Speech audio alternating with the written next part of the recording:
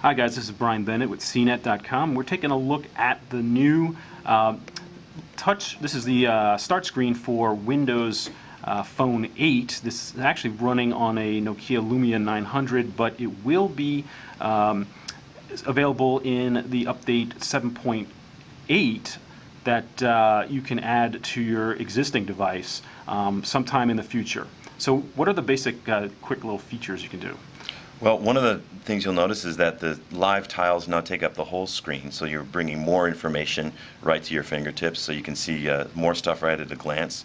You'll also notice we have three sizes of tiles, small, medium, and large. And one of the great things is that any of these tiles can now be made uh, any of those sizes by the end user. So as the end user, you're in charge of what size tile uh, runs on, uh, on any application, third-party application, first-party applications. Um, a great new start screen that'll show more information right at a glance and really make it easier for you to personalize it and reflect the things that you care about most.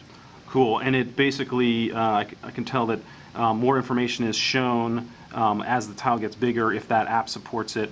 Um, in a way, it's almost like the Samsung uh, um, TouchWiz interface that does some of that stuff, but of course you probably won't agree with that.